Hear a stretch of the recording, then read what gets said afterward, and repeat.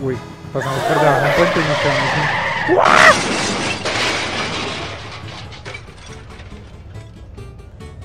Perdón. Una pequeña derrapadita, no pasa nada.